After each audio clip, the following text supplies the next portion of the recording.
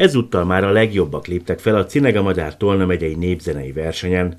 A megmérettetésnek több évtizedes hagyománya van. Még 1990 áprilisában hívta életre Szabadi Mihály.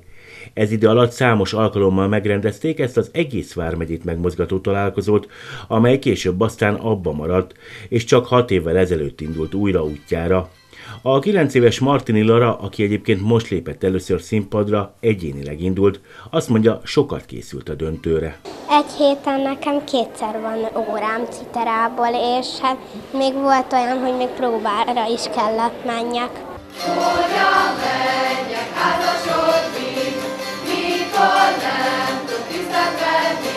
a népzenei versennyel egyúttal a Szexádi Pünkösdi Fesztivál is kezdetét vette, ahova három napon keresztül várják a látogatókat, számos kulturális és szórakoztató programmal május 27-e és 29-e között. Azt hiszem nem is lehetne kiválóbb felvezető műsorral ezt a nagyon szép hétvégét elindítani, mint egy olyan hagyományos rendezvényel, amelynek sok-sok év óta már a Babics Kultúra és Központ a házigazdája.